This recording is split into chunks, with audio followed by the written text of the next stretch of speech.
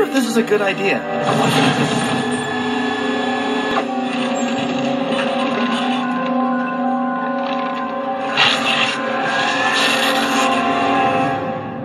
Whoa! I have a really big head. So, uh, sorry, you, first. Stop, copying me! ow, ow, funny bone.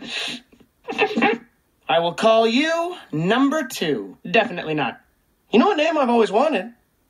Tyrone. Okay, Tyrone, let's get down to business. I'm thinking you cover me at the ticket stand while I ask Wendy to dance.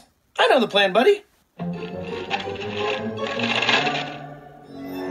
Hey, we're not gonna get jealous and turn on each other like the clones in the movies, are we? Dipper, please. This is you you're talking about. Plus, hey, you can always just disintegrate me with water. Yeah.